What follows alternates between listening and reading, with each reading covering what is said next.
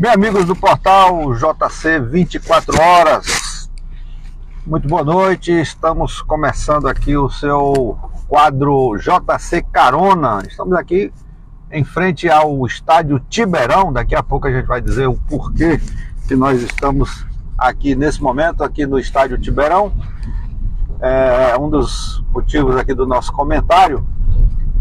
Queremos agradecer a você que sempre que assiste aqui esse nosso quadro aqui no JC 24 Horas.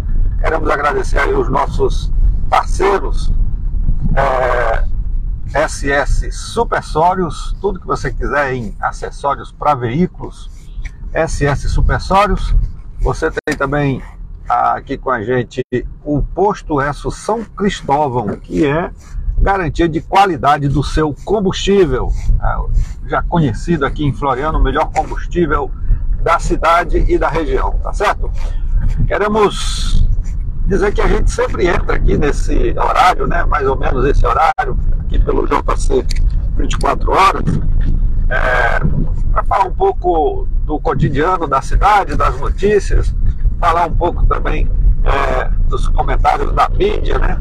aqueles destaques é, da mídia local e também mostrar um pouco da movimentação nesse horário aqui, horário de pique, que as pessoas estão voltando para seus lares, né? Depois de mais um dia de trabalho, enquanto a gente faz o percurso até a cidade de Barão de Grajaú, lá na TV Tropical, a gente é, daqui a pouco, se Deus quiser, a gente vai estar apresentando o Jornal da Noite pela TV Tropical, canal 12, Facebook e YouTube, tá certo? Bom, pessoal, é... agradecer a todos vocês. Estamos passando aqui pela Avenida Calixto Lobo e é...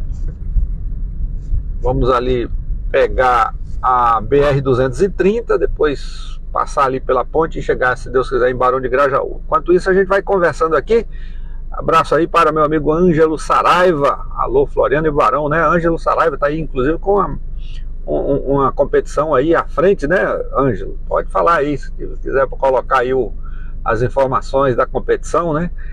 Meu amigo professor Ângelo Saraiva, que mantém assim, uma tradição enorme de fazer sempre a, o percurso, né? Percurso Saraiva, né? Que é, sempre está a gente vendo sempre o final do ano ou início do ano, tá certo? Bom, pessoal, também Juliana Misael, abraço para Juliana Misael. Olha, como já falei, enquanto a gente vai fazendo esse percurso, a gente vai comentando sobre assuntos da, do cotidiano da cidade, mostrando aí a movimentação. Você vê aqui, semáforo aqui, sempre esse semáforo aqui da antiga rodoviária, né, que é sempre é, bem movimentado. Bom, pessoal, olha, nós tivemos hoje, falar em movimentação, uma grande movimentação lá na, lá na, na central de flagrantes de Floriano. É, muita gente realmente é, por lá, movimentação de prisões, é, conduções, é, muita coisa. Houve inclusive a, a chegada lá de pés de maconha, olha só. E a notícia é, é, é, curiosa, né? A informação que a gente obteve é de que um cidadão que foi, é, um rapaz que foi é, levado à central de flagrantes por conta de que a gente chama Maria da Penha, ou seja, a ocorrência de agressão doméstica, né? Então, é, esse rapaz ele foi conduzido e foi, ele tinha sido denunciado pela companheira e pelo pai da companheira, né? No, pelo caso, no caso, o sogro. E quando ele chegou lá na central de flagrantes, parece que ele, não sei se essa denúncia que ele fez foi, foi justamente quando já tinha chegado lá, mas quando ele estava sendo conduzido, ele, ele próprio disse que iria denunciar o próprio sogro que era dono de uma plantação de maconha. Isso aqui na cidade de Floriano.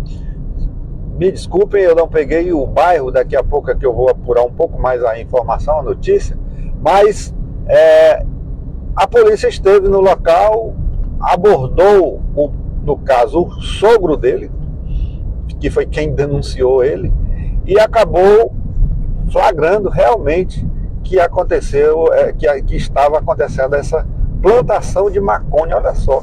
Aqui na cidade de Floriano, no quintal, ele disse que é, deu lá umas desculpas, lá pelo que a gente obteve de informações, ele deu lá umas desculpas, mas desculpas que não foram consideradas pela polícia e acabou é, esse, esse senhor também, sogro dele, desse, desse outro, os dois ficaram, portanto, é, detidos lá na central de flagrantes. Tá?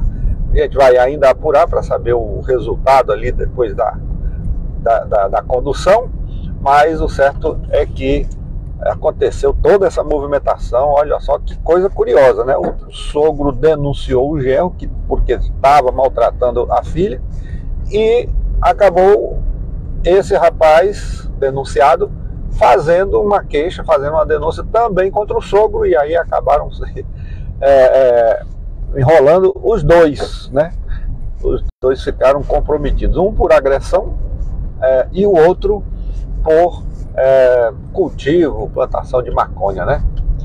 Bom, pessoal, tivemos essa movimentação, tivemos a prisão de um rapaz que praticou um assalto já hoje, ele inclusive que já é oriundo do sistema prisional, é, praticou um assalto já hoje, inclusive nós temos imagens aí, o JC 24 horas já passou essas imagens ali nas imediações da antiga rodoviária, a gente passou agora há pouco, e também é, aconteceu lá um assalto, esse rapaz, é, o nome dele até é bem enigmático, é Fábio Júnior, e, e, tinha feito um assalto, as imagens captaram, e além das imagens, ele estava com a pulseira e com um colar da pessoa, no caso da vítima. Olha só. E aí a polícia pegou, houve até tiros, tiros aí na, na, na situação, o JC contou tudo isso aí é, o Temístocles Filho.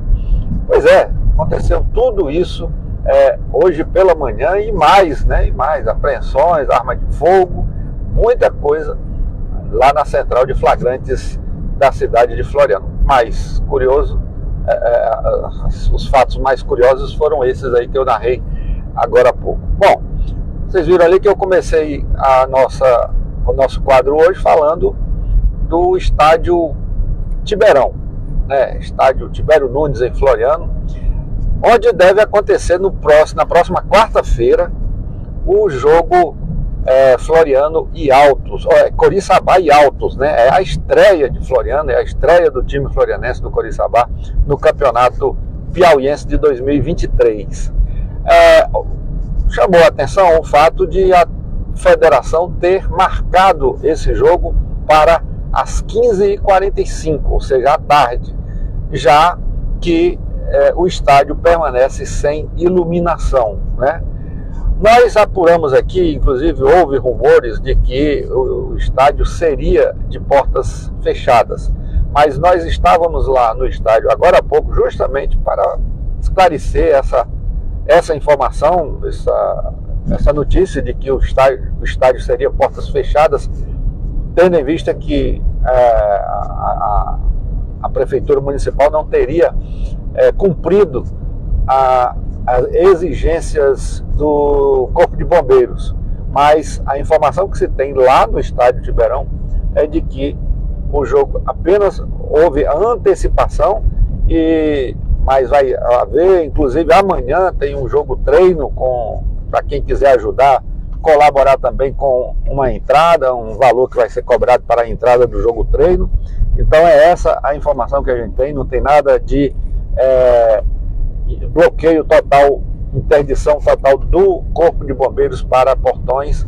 E aí é, a informação que nós temos, acabamos de obter lá no estádio, foi essa, de que realmente o jogo foi antecipado, mas é, será com portões abertos e, e a, a torcida florianense, no caso aí, para deverá sim prestigiar. Agora é, é uma pena, realmente um horário meio inconveniente, né? Final de tarde, ainda muita gente trabalhando, né?